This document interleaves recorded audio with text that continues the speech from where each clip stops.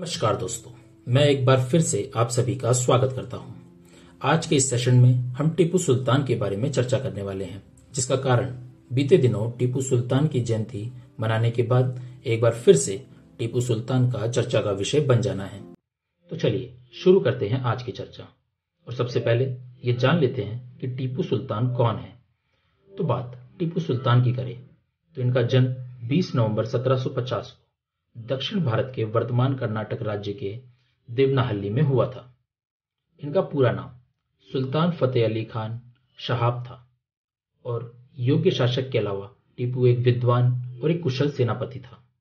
इनके पिता का नाम हैदर अली और माँ का नाम फकरुनिसा था।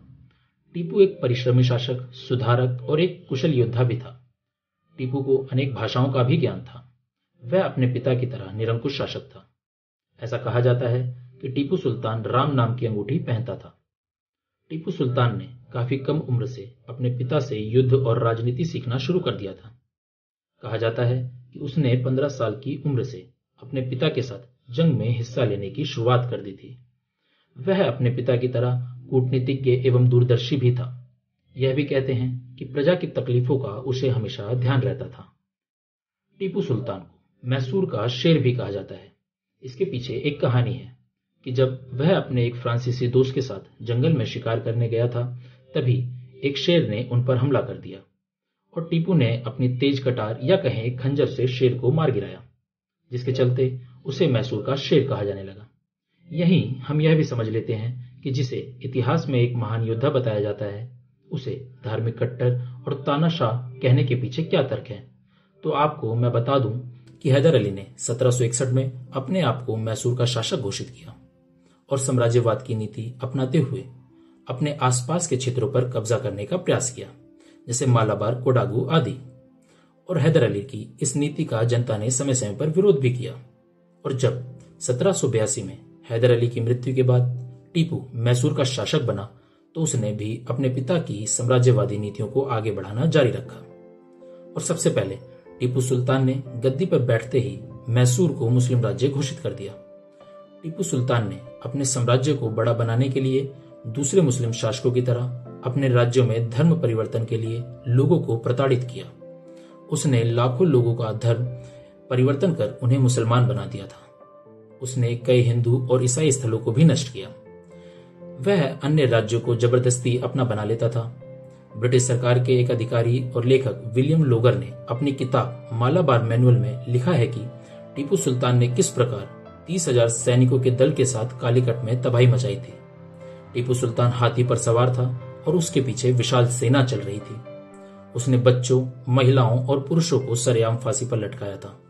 लेकिन यहाँ आपको यह भी बता दूँ कि कुछ ऐसे इतिहासकार भी हैं जो टीपू को एक बेहतर शासक बताते हैं। जैसे इनमें एक इतिहासकार केट की बात कर ले तो उन्होंने अपनी पुस्तक Tiger, the Life of Tipu Sultan में कहा कि टीपू एक व्यवहारिक और एक शिक्षित व्यक्ति था। जिसे कई भाषाओं का भी ज्ञान था। साथ ही वे यह भी कहते हैं कि भले ही टीपू तानाशाह क्यों ना रहा हो, लेकिन ज़रूरी नहीं है कि उसके तानाशाह होने की प्रेरणा कट्टरता ही हो।